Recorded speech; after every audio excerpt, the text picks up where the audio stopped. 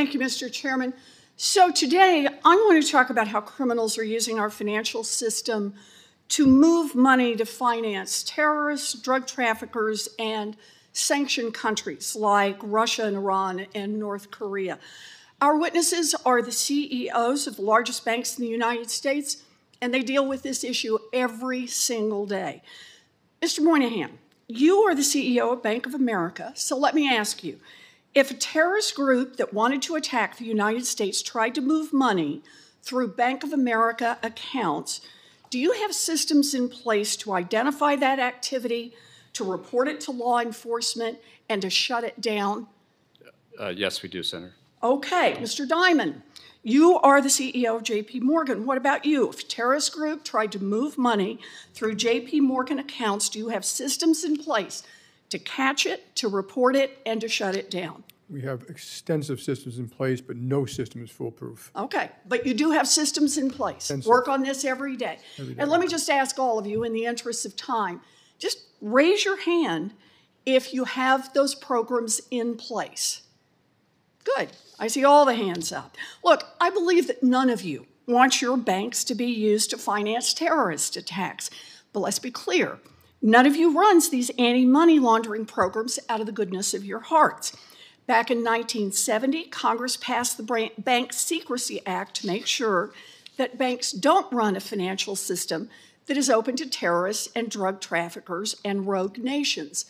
But time passed and the crooks got more sophisticated. So after the 9 11 terrorist attacks, law enforcement discovered the way terrorists had gotten around the Bank Secrecy Act, and Congress was then called on to update the laws to cut off future access. And that's what Congress did.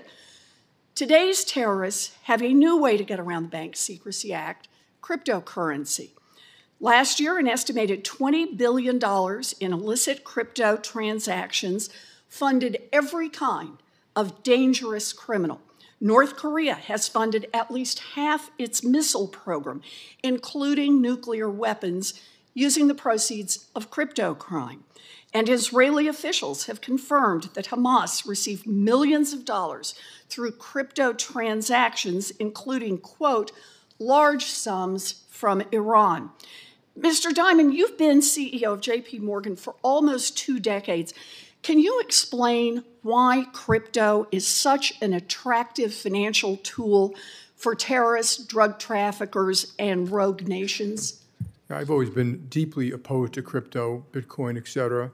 You pointed out the only true use case for it is criminals, drug traffickers, anti money laundering, tax avoidance, and that is a use case uh, because it is somewhat anonymous, not fully, and because you can move money instantaneously, and because it doesn't go through, as you mentioned, all these systems have built up over many years, know your customers, sanctions, OFAC.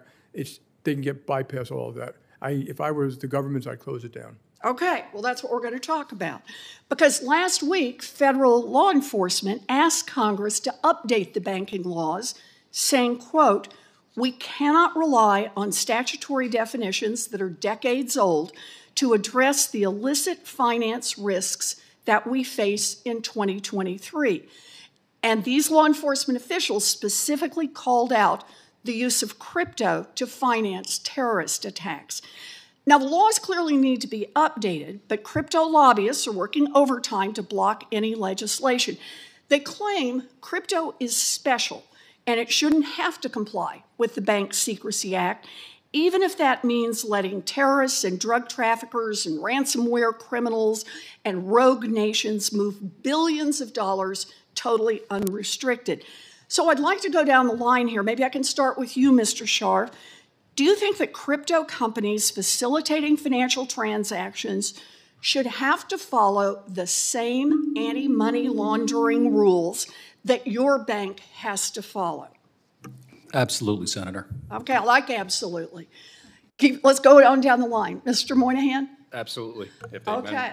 Absolutely, All right. positively, certainly. Unanimous, absolutely. All right.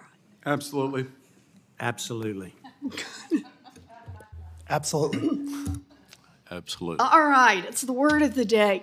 You know, we've got a way to do this. Senator Marshall and I, along with 18 of our Senate colleagues, including Senator Cortez Masto, Senator Smith, Senator Fetterman, Senator Warnock, Senator Butler, who are here right now and on the Senate Banking Committee, have a bill that would do exactly what law enforcement asks. It would extend the anti money laundering rules that banks follow so that crypto could not be used for financing terrorist attacks or North Korea's nuclear program. When it comes to banking policy, I am not usually holding hands with the CEOs of multi billion dollar banks, but this is a matter of national security. Terrorists, drug traffickers, and rogue nations should be barred from using crypto for their dangerous activities. It's time for Congress to act. Thank you, Mr. Chairman. Uh, Senator Dane.